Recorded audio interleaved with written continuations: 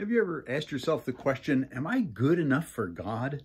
Uh, sometimes we would wonder, don't we? Do I stand in a right relationship with God? Am I good enough for Him? Uh, does my life measure up? And uh, of course, we would probably in our minds think about some of those situations we found ourselves in, some of the things we've said, some of the things we've done that fall far short of God's uh, perfect standard. And so we might wonder to ourselves, Am I good enough for God? Actually, Jesus answers that question, but I'm not sure you're going to like the answer that he gives.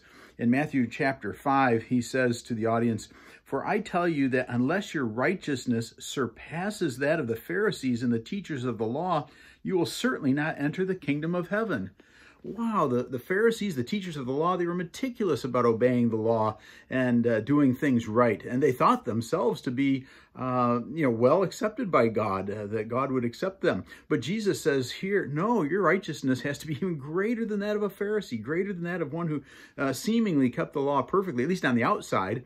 Why? Because the law of God applies not just to the outside actions, words, activities, but to the heart as well. And this is a point that Jesus made over and over again. It's a matter of the heart, our, our attitudes, our, our, uh, our outlook on life, the way we think about people, and the, the way our hearts respond to God. And so Jesus says, no, you really aren't good enough.